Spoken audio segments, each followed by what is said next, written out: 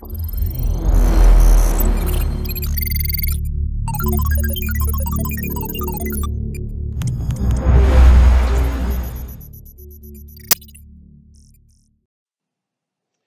there.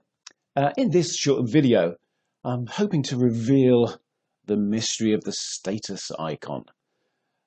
My name's Greg Benson Shettle for Graitec. So, when we're looking in our layers property palette, there's a status column.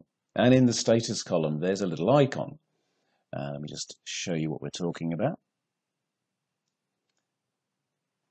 So you'll have the layers, and then in the status column, you've got these little icons that look like sheets of paper. And some of them will be a kind of bluey grey colour, and some will be white with a black border around them. And a question that is often asked uh, during training sessions is, well, what does it mean and is it important? So I'm going to answer this question uh, in three steps for you. Uh, we're going to look at understanding what they mean we're going to take a look at how to refresh them so that they're con constantly up to date. And also, we're going to look at, in a third step, how you could actually speed up the usage of your drawings by actually disabling the status monitoring of these icons. Okay, let's get involved. Let's take a look.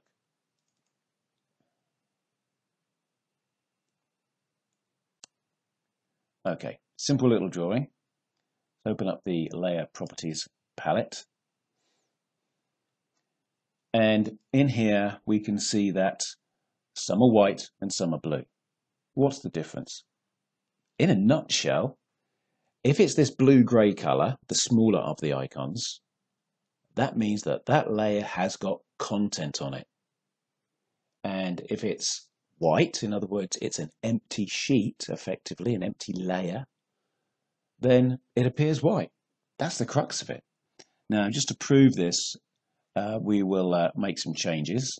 So we're going to add some walls uh, in, and I'm going to place it on the walls internal layer. Just a quick reminder, if we look in the layers property palette, I'll zoom in, and here we can see that walls internal is white. It's not blue. So I'll make that the current layer. and add some walls in here very quickly.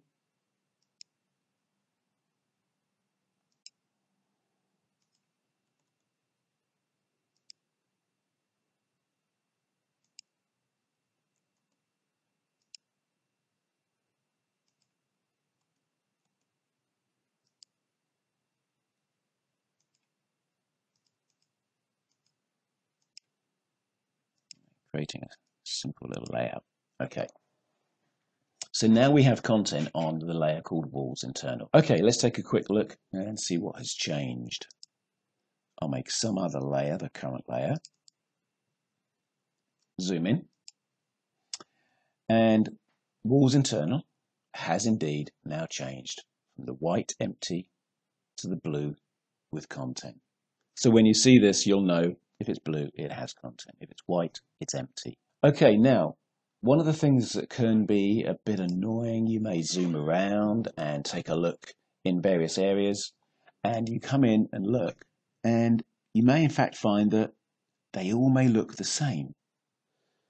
Now the reason for this is that uh, AutoCAD in the background hasn't actually refreshed the list.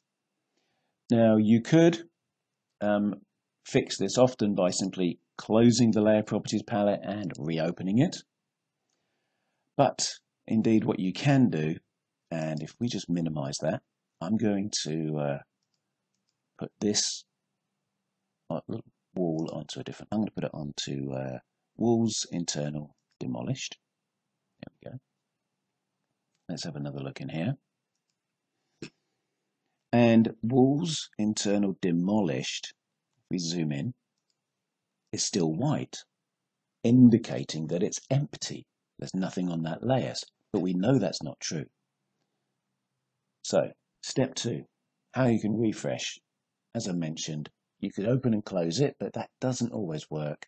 However, we've got a handy little refresh button up here. click on the refresh, and hopefully you saw that that changed from being an empty white sheet to a blue sheet. And that's it. Now, one last thing, step three. If you have a very, very busy drawing with many layers, AutoCAD is monitoring this in the background to try and keep it up to date for you. Now, it is possible that if you find it slowing down, we can actually switch off that monitoring. All we need to do is a system variable, and we're going to simply type in show layer usage. Okay, it's set to one. If we set it to zero, it will then switch be switched off. And now all of these look the same and it's not going to be checking. You know, so even if I do refresh, it doesn't change. So if you have very, very uh, layer heavy drawings, using this method, you could actually disable the layer monitoring. Well, I hope that's been useful and cleared up uh, the mystery of the layer status icon. Uh, my name's Greg Benson Shettle. Thank you for your time. Bye for now.